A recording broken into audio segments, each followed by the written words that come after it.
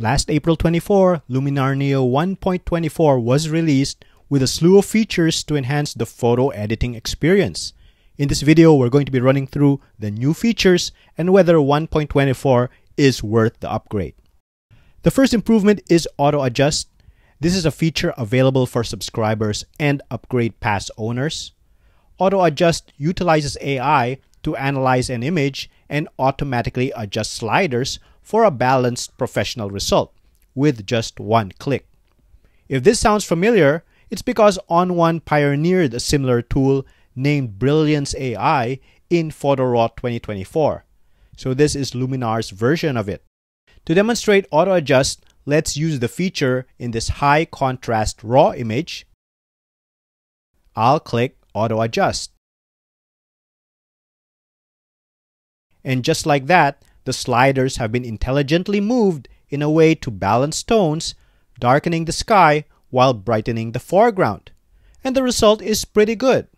Looking at a second image, you can see a similar satisfactory edit. By the way, another new feature of Auto Adjust is it periodically asks for feedback on the quality of the result and even allows for sharing of your file to help improve Luminar's models.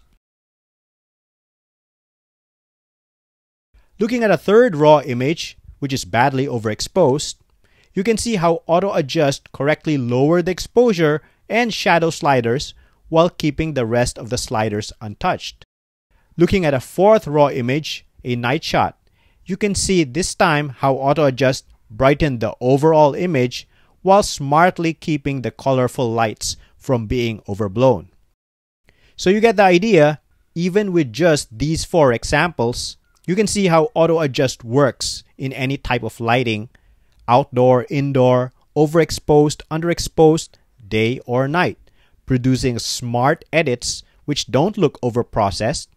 In addition, I also find it a great learning tool on how to properly use Luminar to adjust the tones. Bravo! But that's not all. Another overlooked benefit of Auto Adjust is it is a great way to batch process your photos. To start batch processing, I'll edit a photo with auto adjust. I'll navigate back to the catalog. I'll right click on the photo. I'll click adjustments. Copy adjustments. I'll select the photos to be adjusted. I'll paste the adjustment. And after a few moments, all the photos are fixed a real time saver. So that was auto adjust, a very simple concept that just works. So let's move on to the next new feature, an all new export menu.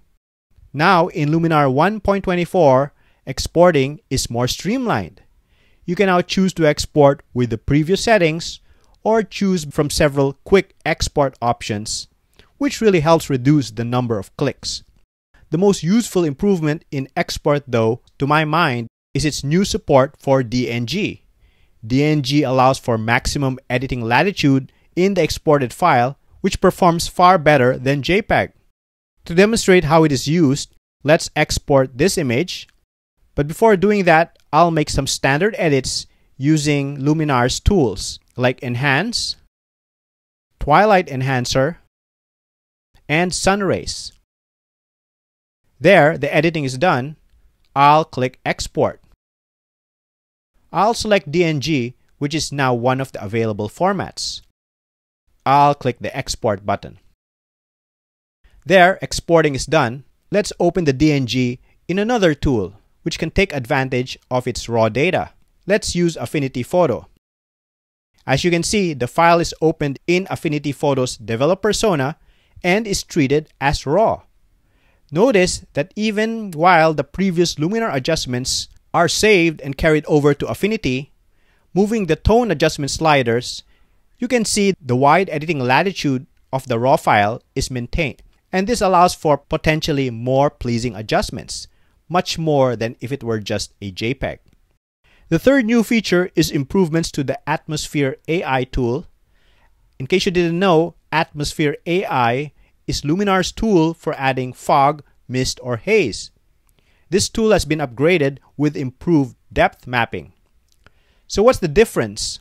Comparing the previous and current tools, you can see that as I move the amount slider to maximum, the updated version shows more precise masking.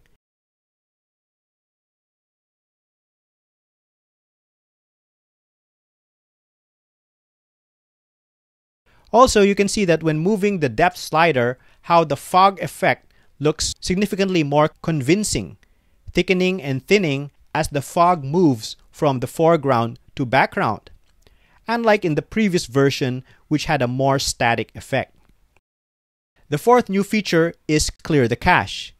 If you find Luminar Neo running slowly or feeling sluggish, or if you encounter glitches such as outdated thumbnails or incorrect previews, and the good news is Luminar 1.24 now allows for deleting the cache right in the settings. It's a much simpler option than manually searching for the files in Finder or File Explorer. So there you have it. Those are the four new features in Luminar Neo 1.24. Is it worth the upgrade?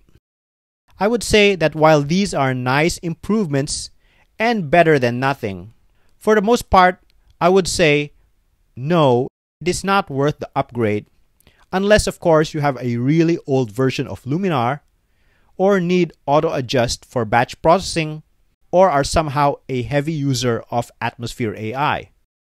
Other than that, I would actually recommend waiting for a more substantial update, which is usually released sometime in October when all the new photo editor versions are released. So I hope you found this video helpful. Let me know what you think of this update. Are you going to be using any of the new features? Write it down in the comments. I'd love to hear from you. And if you like this content, don't forget to like, subscribe, and share to help keep the videos coming. Until the next video, I'm going to see you in the next one. Bye for now.